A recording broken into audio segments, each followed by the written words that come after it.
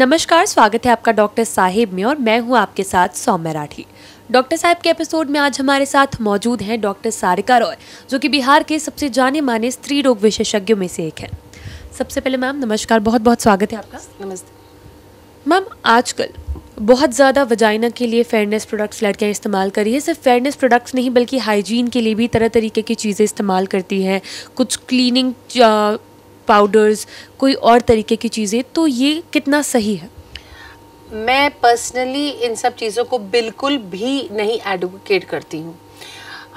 ये मैं बहुत ज़्यादा चाहती हूँ कि इसका प्रचार हो। आ, कि your your vagina your private parts के पास अपने खुद बहुत सारे बैक्टीरिया हैं जो आप वो आपके सोल्जर्स हैं वो आपके वजाइना को उसका वजाइनल फ्लोरा कहते हैं वो आपके वजाइना को प्रोटेक्ट कर रहे हैं।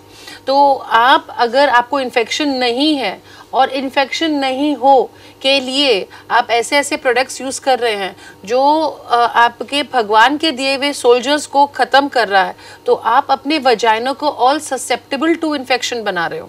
So, i am not at all in favor of using any of these vaginal products to prevent infection. In fact I seen कि बहुत सारी लड़कियाँ डेटॉल तक इस्तेमाल करती हैं, जो कितना लीथल है। जो यू मस्ट अंडरस्टैंड कि थोड़ा बहुत नो इसको इन्फेक्शन नहीं कहेंगे, उसको बैक्टीरिया जो आपका नेचुरल बैक्टीरिया जो नेचुरल वजैनल फ्लोरा है, उसको नहीं डिस्ट्रॉय करना है। बिल्कुल भी नहीं। हाइजीन अगर मेंटेन करना है, आप सुसु करने जाते हो तो उस समय भी पानी से धो। नॉट ओनली कि जैसे पोटी करेंगे तो हम धोएँगे। पति पत्नी साथ रहते हैं इमिजिएटली वॉश योर सेल्फ और this is the best way to maintain your normal hygiene उसके लिए uh, अगर आपको प्रिवेंशन चाहिए normal water and soap is more than enough even just water all the day and once in a day uh, soap is all that you need to maintain a good hygiene for the vagina. अपने panties को regularly change करना and that is enough unless आपको infection हो गया है. यदि आपको infection हो गया है स्मेल आ रहा है नोचनी हो रहा है किसी प्रकार का तकलीफ़ है तो आपको सिर्फ़ अपने आप को नहीं आपको अपने पार्टनर का भी इलाज करना है जो अधिकांश महिलाएँ मिस कर जाती हैं। वो सिर्फ़ अपना इलाज करती हैं और अपने पति के लिए या अपने पार्टनर के लिए दवाइयाँ नहीं लेके जाती और अगर लेके जाती भी हैं तो वो पार्टनर खाने के लिए तैयार नहीं है। वो बोलता है कि मेरे को तो कोई प्रॉब्लम नहीं है, हम क्यों खाएँगे? And then that that patient अभी ठीक हो जाएगी दवाइयों पे, फिर पंद्रह बीस दिन में एक महीना पे वापस आएगी, बोलेगी, मैडम, मेरे को इन्फेक्शन वापस आ गया। वो इन्फेक्शन वापस उसके पार्टनर से ही आया है। ये पार्ट ये बात समझाना मुश्किल होता है बहुत बार पार्टनर को।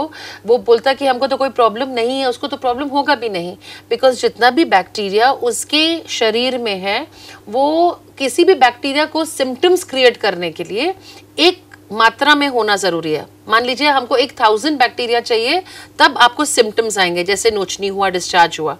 अगर आपके पास एक या दो बैक्टीरिया है बैक्टीरिया है, पर सिर्फ़ एक, दो, दस, पंद्रह, बीस बैक्टीरिया हैं तो वो बैक्टीरिया रहने के बावजूद भी वो आपको कोई सिम्टम नहीं देगा। जिस तरह से जिस वक्त कोविड आपको आता है, उसी समय से आपको बुखार नहीं होता है।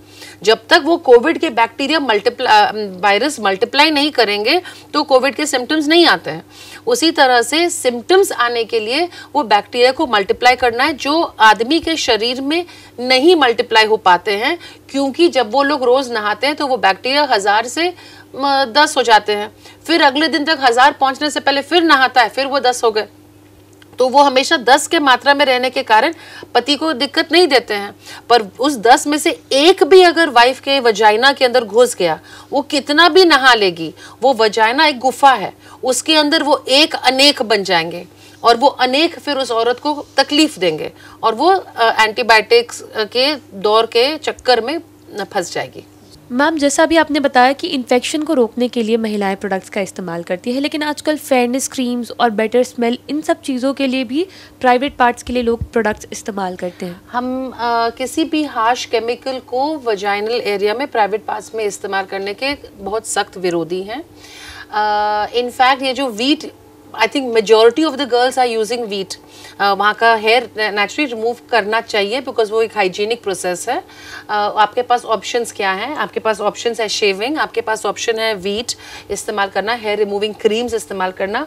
और थर्ड ऑप्शन है वैक्सिंग जो बिल्कुल इंडिया में स्पेशली बिहार में उतना प्रचलित नहीं है।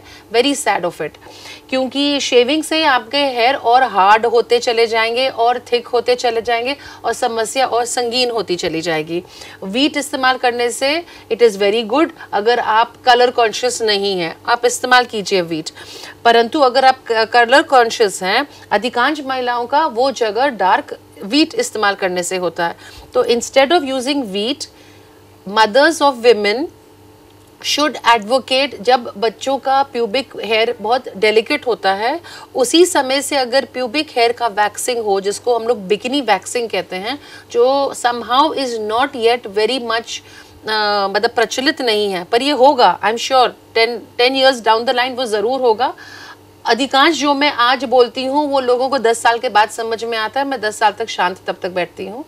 ये ही बेस्ट तरीका है to remove pubic hair and कुछ सालों में अगर आप अर्ली एज में स्टार्ट कीजिएगा तो विद इन टेन ईयर्स आपको शायद उसको इस्तेमाल करने की ज़रूरत भी नहीं पड़ेगी और हेयर ग्रोथ इतना कम हो जाएगा दैट आपको किसी चीज़ की ज़रूरत नहीं पड़ेगी। उम्मीद करती हूँ कि डॉक्टर साहिबा ने जो सारी बातें बताई हैं, आपने उन्हें ठीक तरीके से सुना और समझा होगा। इसी के साथ जल्द मुलाकात होगी अगले एपिसोड में। तब तक के लिए अगर वीडियो को फेसबुक पर देख रहे हैं तो पेज को लाइक करें यूट्यूब पर देख रहे हैं तो चैनल को सब्सक्राइब करें। कमेंट सेक्शन या मेल बॉक्स के माध्यम से आप बता सकते हैं कि डॉक्टर साहब से आपके और क्या सवाल है। धन्यवाद।